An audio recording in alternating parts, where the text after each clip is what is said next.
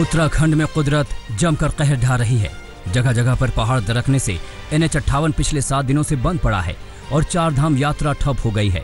तोता घाटी के पास पहाड़ों का मलबा दरक रहा है, जिसकी वजह से हाईवे पर वाहनों की कतार लगी हुई है। मांसवाड़ा में हाईवे पर भूस्खलन की वजह से केदारनाथ यात्रा प्रभावित हुई है। पहाड़ों से गिरे मलबे की चपेट में आने से एक युवक की मौत हो गई। बांसवाड़ा में पहाड़ी से मलबा बरसात की तरह गिर रहा है। रुद्रप्रयाग में रुक रुक कर बारिश हो रही है, जिसकी वजह से केदारनाथ हाईवे पर सफ़र करना जोखिम भरा हो गया है। अरुणाचल प्रदेश के सियांग में भारी बारिश और भूस्खलन की वजह से हाइडल पावर प्लांट पूरी तरह से क्षतिग्रस्त हो गया। आसपास के इलाके में बिजली सप्लाई पूरी तरह से ठप हो गई है। ग्रामीण पावर हाइडल की मरम्मत में जुटे हैं। ये हाइडल पावर प्लांट तीन महीने पहले ही लगाया गया था। असम के मौजली में ब्रह्मपुत्र नदी में एक नाव में सवार तीन लोग धार के बीच फंसे। उन्हें बचाने के लिए करीब तीस लोग बाँस के बने पुल पर पहुँचे। अचानक बाँस का यह पुल ढह गया और तीस लोग नदी के तेज धार में जा गिरे। हालाँकि गनीमत रही कि तेज बहाव में बह रहे लोगों को आगे के गाँव के लोगों ने सुरक्षित निकाल लिया। बिहार के करीब 10 ज़िले बाढ़ की चपेट में हैं। मुजफ्फरपुर मुरौल प्रखंड में तिरहुत नहर में बना तटबंध टूट गया। जिसकी वजह से दर्जनों गाँव बाढ़ की चपेट में आ गए हैं। सड़क और घरों में कई फुट पानी भर गया है। कई गाँव तो टापू बन गए हैं। मुसीबत में फंसे लोग प्रशासन से मदद नहीं मिलने से नाराज़ हैं।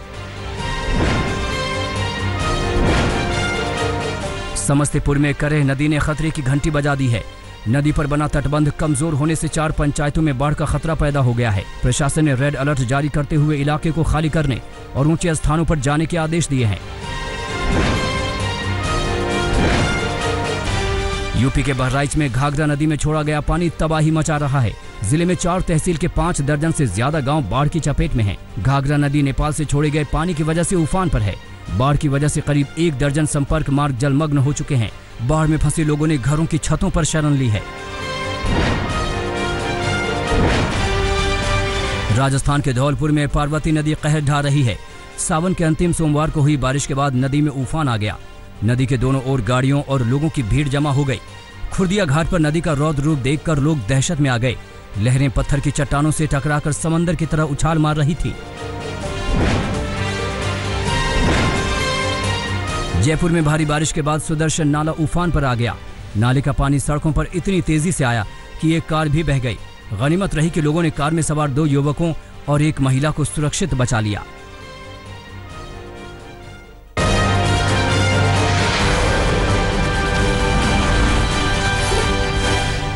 सुशांत के पिता के के सिंह ने मुंबई पुलिस पर बड़ा आरोप लगाया है। के के सिंह का कहना है कि उन्हें पहले ही सुशांत की जान के खतरे का अंदेशा हो गया था, जिसे लेकर उन्होंने 25 फरवरी को मुंबई पुलिस को व्हाट्सएप पर शिकायत की थी। लेकिन 40 दिन तक मुंबई पुलिस ने कोई एक्शन नहीं लिया, जिसके बाद उन्हें पटना पुलिस की मदद लेनी पड़ी। पच्चीस फरवरी को मैंने मालदा पुलिस को आगाह किया था कि मेरे बेटे सुशांत की जान को खतरा है, परंतु उन्होंने कुछ नहीं किया। सुशांत के पिता के आरोपों को लेकर मुंबई पुलिस की सफ़ाई आई है। मुंबई पुलिस का कहना है कि व्हाट्सएप के ज़रिए मिले संदेश पर वो शिकायत नहीं दर्ज कर सकते थे। इसके लिए परिवार को लिखित शिकायत दर्ज करने के लिए कहा गया था, लेकिन परिवार की ओर से कोई भी लिखित शिकायत दर्ज नहीं हुई। पुलिस के बीच मची खींचतान के बीच सुशांत के वकील विकास सिंह ने एक बार फिर सीबीआई जाँच का मुद्दा उठाया है। सुशांत के वकील ने मुंबई पुलिस की जाँच पर सवाल खड़े किए हैं। और साफ़ किया है कि सुशांत के पिता से बातचीत के बाद वो सीबीआई जाँच के लिए जाएँगे। सुशांत के दोस्त सिद्धार्थ पिठानी ने मुंबई पुलिस को सिद्धार्थ के जीजा का एक मैसेज फॉरवर्ड किया है, जिसमें उन्होंने सुशांत के खराब संगत का ज़िक्र किया है। सिद्धार्थ के मुताबिक सुशांत के जीजा का कहना है कि वो संदेश सिद्धार्थ के लिए थे, जिसे उन्हें दिखाने के लिए कहा गया। सुशांत सिंह राजपूत के परिवार वालों का आरोप है कि सुशांत के अकाउंट से पूजा पाठ के नाम पर पैसे निकाले जा रहे थे। पारिवारिक सूत्रों ने आज तक को सुशांत सिंह राजपूत के कोटक महिंद्रा बैंक अकाउंट की स्टेटमेंट दी है, जिसके कोटक महिंद्रा के बैंक खाते से 14 जुलाई 2019 से लेकर 15 अगस्त 2019 तक लगातार किसी पंडित के नाम पर पैसे ट्रांसफ़र किए जाते रहे। ये पैसे लाखों में है, जिसे हज़ारों में कई बार निकाला गया। महाराष्ट्र के पूर्व सीएम देवेंद्र फडणवीस ने जाँच को लेकर महाराष्ट्र सरकार पर निशाना साधा है। फडणवीस का कहना है कि महाराष्ट्र सरकार बिहार पुलिस की जाँच में सहयोग नहीं कर रही है। विनय तिवारी के क्वारंटीन को लेकर फडणवीस ने सरकार पर निशाना साधा है। सुशांत केस की जाँच करने पहुँचे पटना के सिटी एसपी को। मुंबई में क्वारंटीन किए जाने पर बिहार सरकार बेहद खफा है। खुद पटना आईजी ने इस बारे में बीएमसी को चिट्ठी लिखी है, लेकिन बीएमसी अपनी कार्रवाई को कानूनी बता रही है। बीएमसी ने पटना में फ़ोन करके मुंबई में पहले से जाँच कर रहे बिहार पुलिस के चार अधिकारियों का भी पता पूछा है। माना जा रहा है कि बीएमसी इन चारों को भी क्वारंटीन करने की तैयारी में है। मुंबई पुलिस का कहना है कि बिहार के आईपीएस को क्वारंटीन किए जाने से उसका कोई लेना देना नहीं है, लेकिन मुंबई पुलिस अभी भी इस बात पर अड़ी है कि बिहार पुलिस को सुशांत केस की जाँच करने का अधिकार नहीं है। बिहार के गृह राज्य मंत्री भी ये दलील दे रहे हैं कि बिहार पुलिस के सहयोग के मामले में कानूनी दखल के बिना मुंबई पुलिस कोई कदम नहीं उठाएगी।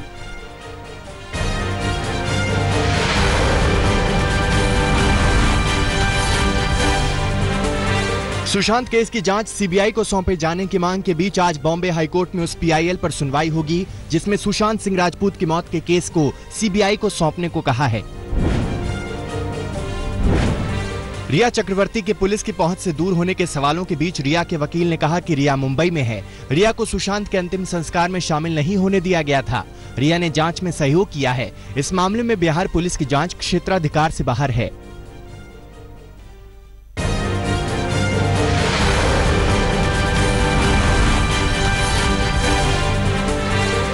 रात भर की बारिश में मुंबई फिर पानी पानी हो गए। निचले इलाके लबालब हो गए।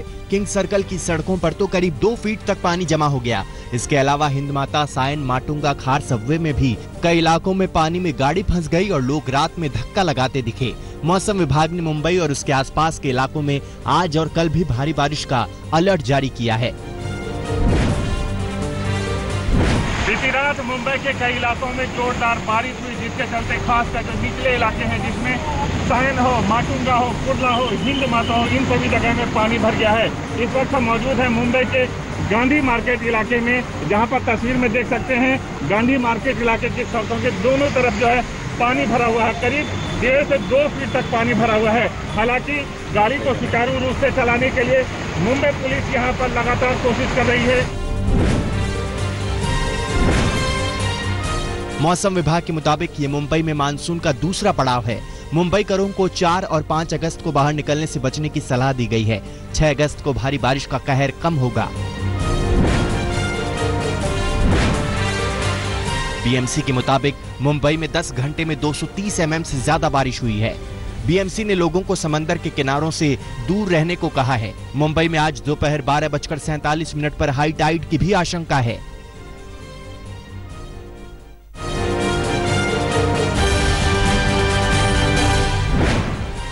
अयोध्या में भूमि पूजन से पहले ही रामनगरी के सरयू घाट रोशनी से जगमग हो चले हैं।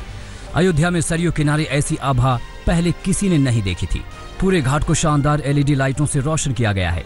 सरयू किनारे एलईडी लाइटें लगाई गई हैं और घाट पर इनकी रोशनी ऐसा आभा मंडल पैदा कर रही है, जिससे लाखों राम भक्तों का मन मंत्रमुग्ध हो गया है। अयोध्या में राम मंदिर के भूमि पूजन में 5 अगस्त को 175 मेहमानों की लिस्ट तैयार की गई है। इनमें 135 साधु संत हैं, जो अलग अलग मठों और अखाड़ों से जुड़े हैं। इनमें भारत के अलावा नेपाल के साधु संतों को भी न्योता भेजा गया है। इसके अलावा फैजाबाद के पद्मश्री मोहम्मद यूनुस और बाबरी मस्जिद के पक्षकार रहे इकबाल अंसारी को न्योता मिला है। राम मंदिर भूमि पूजन में महेश भगचंद का और पवन सिंघल मुख्य यजमान होंगे।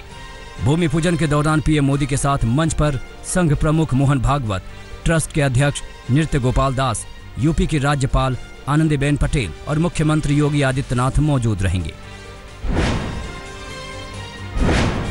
पाँच अगस्त को प्रधानमंत्री नरेंद्र मोदी सुबह करीब सवा ग्यारह बजे अयोध्या पहुँचेंगे।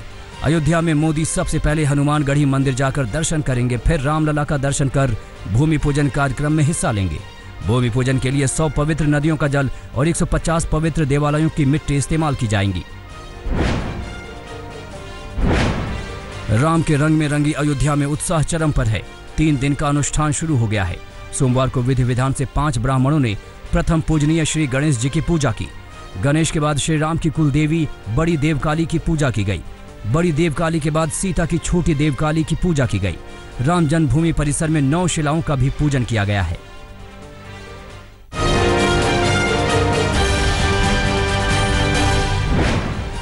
अयोध्या में भूमि पूजन के निमंत्रण कार्ड में सिक्योरिटी कोड लगाया गया है। हर एक कार्ड पर एक नंबर है, जिसके आधार पर पुलिस मेहमानों को प्रवेश देगी। एक बार एंट्री करने के बाद कोई बाहर नहीं निकल सकेगा। मोबाइल इलेक्ट्रॉनिक उपकरण कैमरा ले जाने पर भी पाबंदी रहेगी। प्रवेश द्वार पर सघन चेकिंग की जाएगी।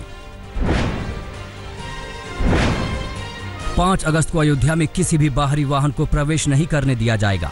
गाड़ियाँ सिर्फ़ रंग महल बैरियर तक ही ले जाई जा सकेंगी।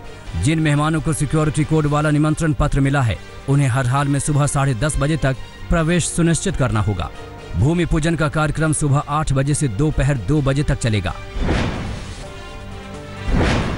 अयोध्या में पाँच अगस्त को प्रधानमंत्री नरेंद्र मोदी के स्वागत की भी भव्य तैयारी की जा रही है। अयोध्या में उन्हें लकड़ी की बनी दुर्लभ डेढ़ फीट की कोदन राम और एक फुट की लव कुश की प्रतिमा भेंट की जाएगी। प्रधानमंत्री नरेंद्र मोदी को दी जाने वाली यह प्रतिमा अयोध्या शोध संस्थान की तरफ़ से कर्नाटक में बनवाई जा रही है, जो लगभग तैयार हो चुकी है। पीएम मोदी को यह प्रतिमा उत्तर प्रदेश सरकार के संस्कृति विभाग की तरफ़ से भेंट की जाएगी। इन मूर्तियों को विशेष रूप से कर्नाटक में प्रेसिडेंट अवार्ड से सम्मानित शिल्पकार राम मूर्ति तैयार कर रहे हैं। अयोध्या में राम मंदिर के भूमि पूजन के मुहूर्त को लेकर सियासी संग्राम जारी है। कांग्रेस नेता दिग्विजय सिंह ने चतुर्मास में मुहूर्त पूजन पर सवाल उठाते हुए कोरोना का भी हवाला दिया। यूपी के सीएम योगी आदित्यनाथ ने पलटवार करते हुए कहा कि इस ऐतिहासिक मौके पर कोई नकारात्मक बात न करें। आज़ादी के तत्काल बाद श्री सोमनाथ मंदिर के पुनरुद्धार के साथ ही प्रारंभ हो सकता था। लेकिन जब लोगों के लिए देश से महत्वपूर्ण सत्ता हो जाती है तो वे लोग अपने राजनीतिक सत्ता के लिए जन भावनाओं के साथ खिलवाड़ करते हैं, समाज को जाति, मत, मज़हब के आधार पर बांटते हैं।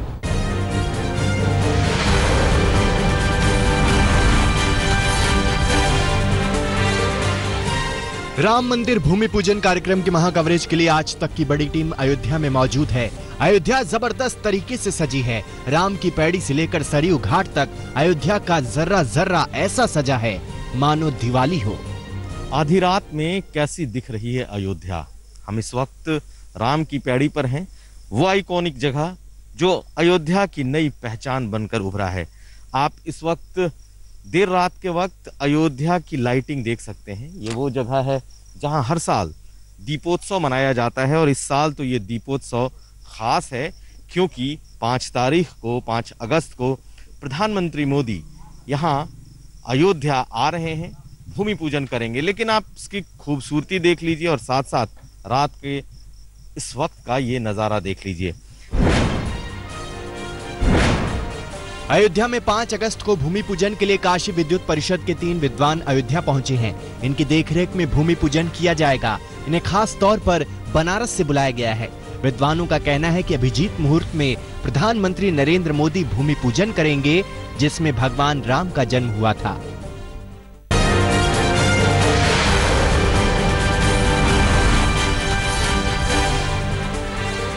एक दिन के आंकड़ों के मामले में अमेरिका और ब्राज़ील को पछाड़कर भारत पहले नंबर पर पहुँच गया है। 24 घंटे में कोरोना के बावन नए मरीज़ सामने आए, जबकि 771 लोगों की मौत हो गई। वहीं अमेरिका में पिछले 24 घंटे में करीब सैतालीस हज़ार और ब्राज़ील में पच्चीस हज़ार से ज़्यादा नए मरीजों की पुष्टि हुई है। अब तक देश में कुल मरीजों का आंकड़ा 18 लाख के पार पहुँच गया है, जबकि अड़तीस लोगों की मौत हो चुकी है। कोरोना के बिगड़ते हालात पर राहुल गांधी ने मोदी सरकार पर निशाना साधा। राहुल गांधी ने कोरोना को लेकर आज तक की टैली ट्वीट करते हुए केंद्र पर तंज कसा। उन्होंने लिखा कि सही वक्त पर सही फैसले का मतलब है, भारत अन्य देशों की तुलना में बेहतर है। महामारी का सबसे ज़्यादा प्रकोप महाराष्ट्र झेल रहा है। राज्य में पिछले 24 घंटे में करीब 9000 नए मरीजों की पुष्टि हुई है, जबकि दो सौ छियासठ लोगों की मौत हो गई। कोरोना संक्रमितों का आंकड़ा दो लाख सतासी हज़ार के पार पहुँच गया है। महाराष्ट्र में रिकवरी रेट तिरसठ दशमलव सात छह फ़ीसदी तक पहुँचा है। फ़िलहाल राज्य में एक्टिव केस की संख्या एक लाख सैंतालीस हज़ार से ज़्यादा है। दिल्ली में रिकवरी रेट बढ़कर नवासी दशमलव सात दो फ़ीसदी हो गया है। सोमवार को राजधानी में कोरोना के 805 नए मरीज़ सामने आए, जबकि 17 मरीजों की मौत हो गई। दिल्ली में संक्रमितों का आंकड़ा एक लाख चौबीस हज़ार के पार पहुँच गया है, जबकि महामारी से अब तक चार हज़ार से ज़्यादा लोग अपनी जान गंवा चुके हैं। पिछले कुछ दिनों में केंद्रीय गृह मंत्री अमित शाह के संपर्क में आए सभी लोगों को 14 दिन क्वारंटीन रहना होगा। कानून मंत्री रविशंकर प्रसाद ने खुद को आइसोलेट कर लिया है। हालाँकि उनकी रिपोर्ट नेगेटिव आई है। केंद्रीय गृह सचिव अजय कुमार भल्ला ने भी अपने आप को क्वारंटीन कर लिया है। शनिवार को अजय कुमार गृह मंत्री अमित शाह से मिले थे। मध्य प्रदेश के मुख्यमंत्री शिवराज सिंह चौहान को भी अभी कुछ और दिन अस्पताल में बिताने होंगे। सीएम की दूसरी कोरोना रिपोर्ट भी पॉजिटिव आई है। रविवार को उनका टेस्ट करवाया गया था। शिवराज सिंह भोपाल के चिरायु मेडिकल अस्पताल में 25 जुलाई से भर्ती हैं। डॉक्टरों के मुताबिक उनकी रिपोर्ट पॉजिटिव आई है, लेकिन स्वास्थ्य पूरी तरह से सामान्य है। झारखंड में सीएम दफ्तर के 17 कर्मचारियों की रिपोर्ट कोरोना पॉजिटिव आने से हड़कंप मच गया है। रविवार को सीएम हेमंत सोरेन की पत्नी के ड्राइवर सहित कुछ लोगों में संक्रमण की पुष्टि हुई थी। इसके बाद सीएम दफ्तर के बाकी कर्मचारियों की जाँच करवाई गई। इनमें से 17 लोग संक्रमित पाए गए हैं।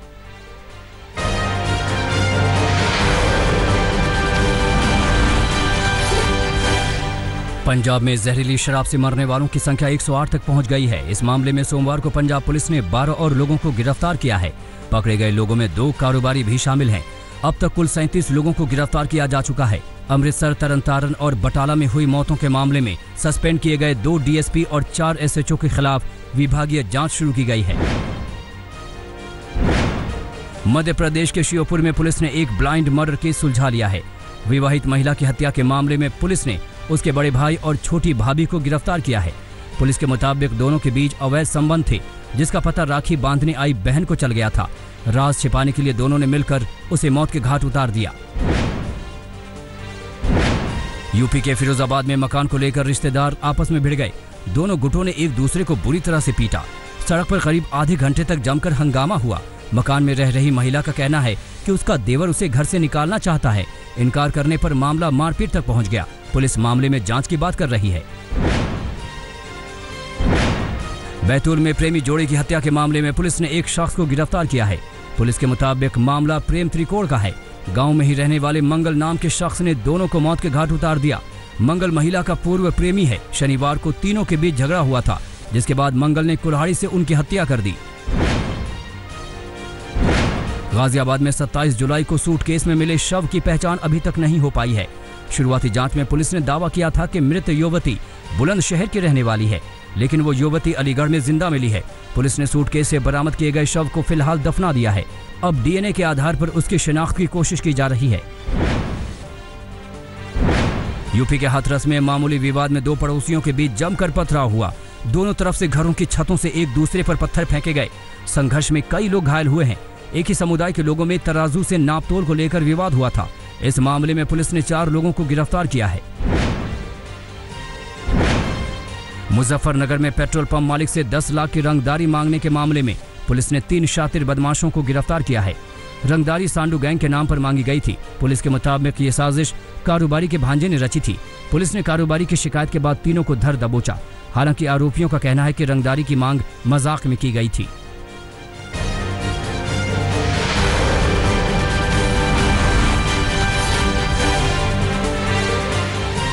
राजस्थान के अलवर में पुलिस ने पूर्व विधायक के बेटे सहित तीन लोगों को हथियारों के साथ गिरफ़्तार किया है।